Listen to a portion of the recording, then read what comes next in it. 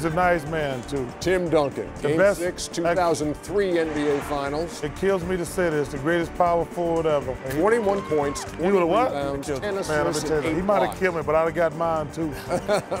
Clearly, you don't have cable, bro. clearly, you don't have cable now. I've uh, seen Tim Duncan. I've seen you too. You, you, you third on the list behind Karl Malone. Oh, you killing me, right? Let's go. Let's go Oh, to Ke- killing me. Let's go to Kevin Garnett in Game Seven of If I had